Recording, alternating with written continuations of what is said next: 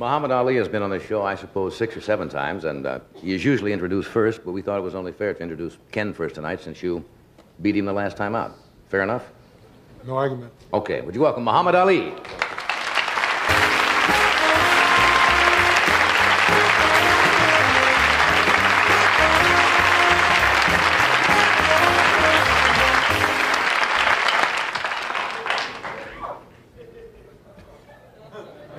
You look, Strange feeling coming on your show in my robe.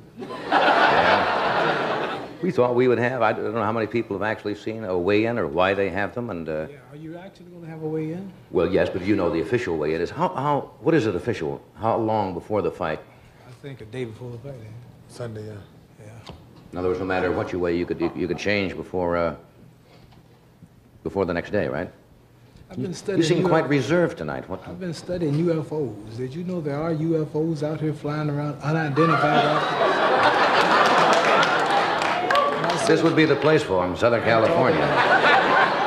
I'm serious. They're sighted a bunch over Georgia. I've seen them at night. Uh, they have real photos of them, and the government and the people just completely seem like don't talk about it. But um, Mr. Harold Salkin of Washington, D.C., is head of the National UFO Bureau. Right. He brought me moving films. I actually have moving pictures of little saucers of great steel objects coming into pictures that people took. And I'm just surprised that don't nobody talk more about it. Something they can. Another great insight into the fight game. No, I'm just kidding. No, I read that. But did you read the thing last night on the, on the news? No. That some physicists said that what the people of Georgia might have seen were that there are, there are probably several thousand satellite objects No. going around No, the United States, around the Earth, and mm-hmm. sometimes they disintegrate and they come back into space. Not 50 feet over the highway. Well, it could. It's got to land somewhere. No, they call it swamp gas and some they don't want. I don't know what it is, but I think I do. But uh, they actually there are actual saucers and objects coming within our atmosphere and flying around, and people got pictures. Everybody cite the same thing in every city: the red and blue and green lights. But the people, authorities, completely brush it off as if to say we are mentally off. But I know it's right because I've been seeing them. Well, why don't they land then, Muhammad? I mean, if, now, if they're intelligent people, why wouldn't they land and step out and say, hi there? Or Galman Ding, whatever they say. You know, why wouldn't they make contact? They've probably figured they can't get no sense out of the people here in this country.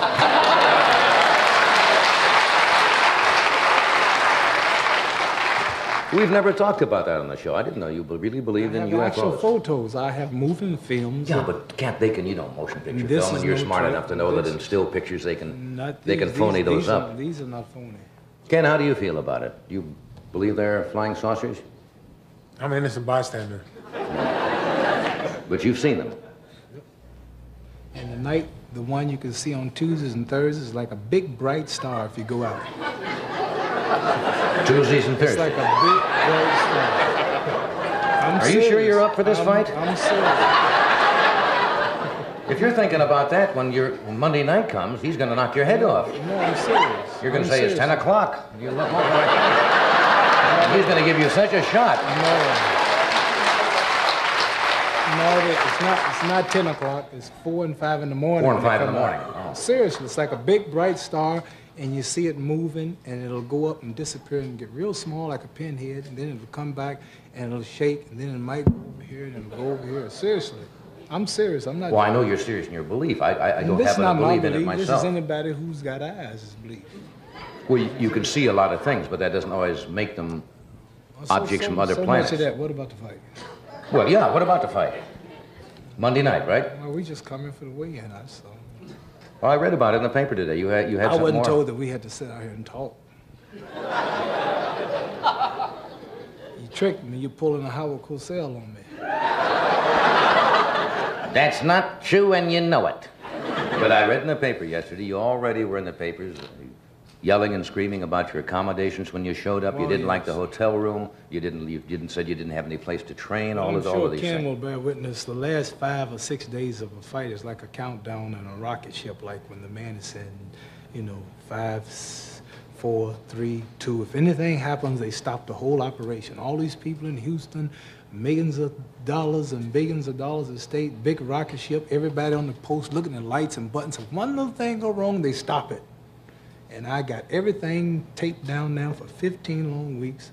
I'm down to about 207 pounds. Last 207? night I was 225. I've did everything perfect for 15 weeks, chopped down 185 oak trees, been running up mountains eating raw meat. I'm ready. And here I get to the hotel, and we stand at the Marriott Hotel. It wasn't their fault, the new Marriott. And I was in there they- to get my get free rooms for this. I knew I'm at the new Marriott Hotel. You already got a free saucer. I got a free what? Free flying saucer. You know, I'm just- little humor there.